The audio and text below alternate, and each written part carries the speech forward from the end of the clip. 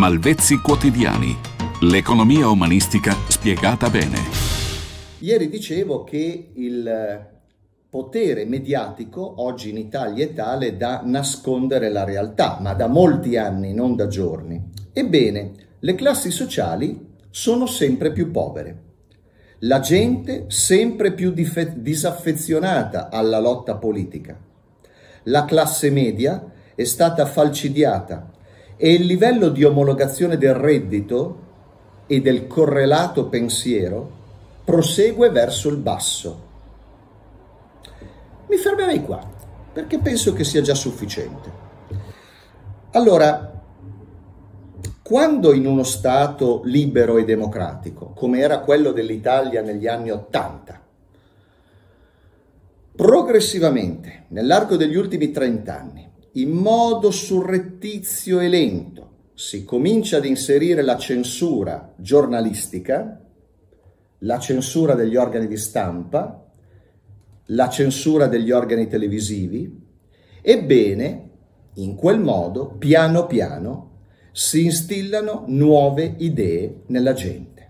Per esempio il fatto entreremo in Europa e vivremo lavorando un giorno in meno e guadagnando un giorno in più non è stato vero, perché oggi abbiamo molti più disoccupati e molti più poveri. Allora, le classi sociali, la verità è che sono sempre più poveri.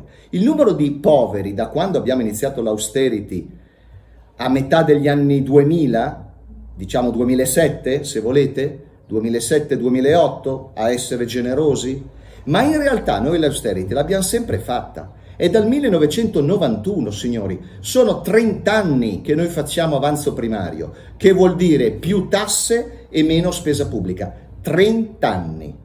E dopo 30 anni noi ascoltiamo ancora come un, gru- come un gregge di pecore, un gregge di pecore, noi ascoltiamo i telegiornali, grandi giornalisti che in materia di economia ci dicono Abbiamo sprechi, spesa pubblica, Italia sprecona, vissuto al di sopra delle possibilità, taglia le pensioni, taglia la sanità.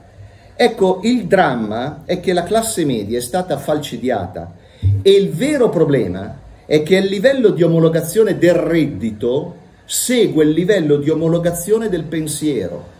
Lo ripeto, nella classe media italiana il livello di omologazione del reddito segue il livello di omologazione del pensiero ed entrambi vanno verso il basso. Questo è il dramma di questa decade, signori. Lo ripeto per la terza volta, il reddito segue la mente. Questo è un concetto di economia umanistica. Malvezzi quotidiani.